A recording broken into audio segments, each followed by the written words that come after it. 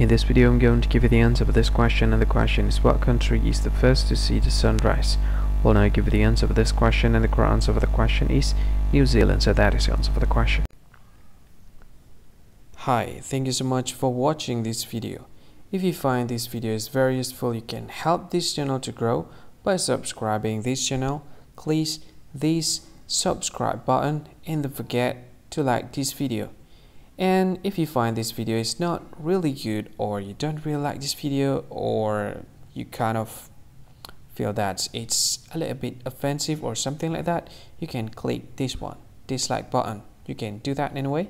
And if you want to share this video with your friend, you can share it by clicking this share button and you can share it to any any social media that you wish that is currently available at this time like Facebook, Twitter, LinkedIn, and many others. Right?